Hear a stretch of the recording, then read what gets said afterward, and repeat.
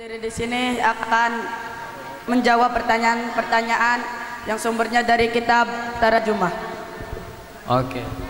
Ada 9 pertanyaan untuk tiga peserta. Masing-masing peserta menjawab tiga pertanyaan. Oke. Siap. Pertanyaan yang pertama untuk peserta yang pertama, ada berapa air yang bisa digunakan untuk sesuci? Ada tujuh. Sebutkan. Air hujan, air, air laut, air sungai, air sumur, mata air, air embun, air es.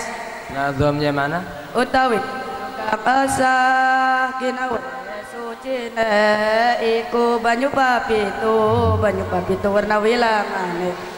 Banyu udan, banyu segara, banyu segara, banyu kaline, banyu sumur, banyu sumberan, banyu sumberan tinamune. Banyu embun, banyu burut, iku kinawaruan. Selanjutnya, apa syarat-syarat air yang bisa digunakan untuk sesuci?